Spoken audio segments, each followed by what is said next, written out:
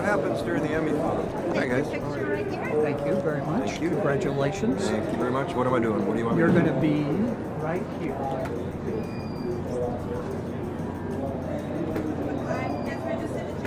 Just look over there.